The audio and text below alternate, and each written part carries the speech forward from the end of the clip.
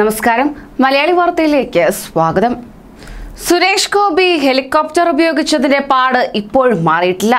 തെരഞ്ഞെടുപ്പിൽ നാമനിർദ്ദേശ പത്രിക കൊടുക്കാൻ ഹെലികോപ്റ്ററിൽ വന്നത് മുതൽ സുരേഷ് ഗോപിയെ നാട്ടുകാർ നോട്ടമിട്ടിരുന്നതാണ്. എന്നാൽ തിരഞ്ഞെടുപ്പ് കഴിഞ്ഞതോടെയാണ് ആ ഹെലികോപ്റ്റർ യാത്രകൾക്ക് ചൂട് പിടിച്ചത്. കൊടകര കുഴൽപ്പണ കേസിൽ ബി ജെ പി അധ്യക്ഷൻ കെ സുരേന്ദ്രനോടൊപ്പം സുരേഷ് ഗോപിയുടെ പങ്കുകൂടി അന്വേഷണ വിധേയമാക്കണമെന്ന് കോൺഗ്രസ് നേതാവ് പത്മജ വേണുഗോപാൽ പറഞ്ഞതോടെയാണ് ഹെലികോപ്റ്റർ യാത്രയും വിവാദത്തിലായത്. സുരേഷ് ഗോപിയും ഹെലികോപ്റ്ററിലാണ് തൃശൂരിൽ വന്നതും പോയതും. അതിലും പൈസ കടത്തിയിരുന്നു എന്ന് ഇപ്പോൾ സംശയിക്കുന്നു. തെരഞ്ഞെടുപ്പ് ചിലവിൽ ഇതെല്ലാം കാണിച്ചിട്ടുണ്ടോ? ഇതും അന്വേഷണ വിഷയമാക്കേണ്ടതല്ലേ എന്നും പത്മജ ചോദിച്ചു. കൊടകര കുഴൽപ്പണ കേസുമായി ബന്ധപ്പെട്ട് നടനും രാജ്യസഭാ എം പിയുമായ സുരേഷ് ഗോപിയുടെ മൊഴിയെടുത്തേക്കുമെന്ന് സൂചനയുണ്ട്. മൊഴിയെടുക്കാൻ സുരേഷ് ഗോപിയെ വിളിപ്പിച്ചേക്കുമെന്ന് അന്വേഷണ സംഘം സൂചന നൽകി. തെരഞ്ഞെടുപ്പ് ഫണ്ടിനെ കുറിച്ചുള്ള വിവരങ്ങൾ ശേഖരിക്കാനാണ് സുരേഷ് ഗോപിയുടെ മൊഴിയെടുക്കാൻ ആലോചിക്കുന്നത്. ഈ വിവാദം കത്തുന്നതിനിടെയാണ് കഴിഞ്ഞയാഴ്ച തൃശൂരിൽ മറ്റൊരു സംഭവം ഉണ്ടായത്. കോവിഡ് മൂലം ലോക്ഡൌണിൽ വിജനമായി കിടക്കുന്ന നഗരത്തിന് മീതെ നാല് ഹെലികോപ്റ്ററുകൾ പറന്നു.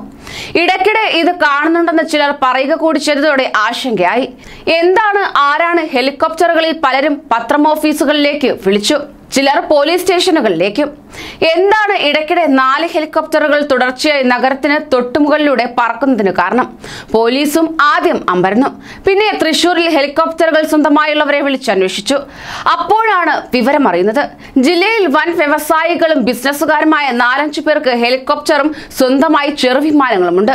ലോക്ക്ഡൌൺ ആയതിനു ശേഷം യാത്രകൾ തടസ്സപ്പെട്ടതോടെ ഇവയൊക്കെ വെറുതെ ഇട്ടിരിക്കുകയാണ്. ഹെലികോപ്റ്റർ ആണെങ്കിൽ എന്താ? ഓടാതിരുന്നാൽ യന്ത്രങ്ങൾക്ക് കേടുപാടുകൾ വരാം. ബാറ്ററിക്ക് പ്രശ്നമുണ്ടാകാം. അപ്പോൾ ഇടയ്ക്കിടെ ഇവനെ ഒന്ന് പറത്തി ചൂടാക്കാതെ പറ്റുമോ? നമ്മളൊക്കെ സ്കൂട്ടറും കാറും ഒക്കെ ഇടയ്ക്ക് സ്റ്റാർട്ടാക്കി രണ്ട് തവണ ഇരപ്പിച്ച് ഒന്ന് മുന്നോട്ടും പിന്നോട്ടും എടുത്ത് ഇടുന്നത് പോലെ. M A Yusuf Ali Joy Alukkas Boby Chemmanur Kalyan group ഇവർക്കൊക്കെ തൃശൂരിൽ ഹെലികോപ്റ്റർ ഉണ്ട് ഇവ ഇടയ്ക്ക് തലങ്ങും വിലങ്ങും പായുന്നത് പുതുമയല്ല താനും.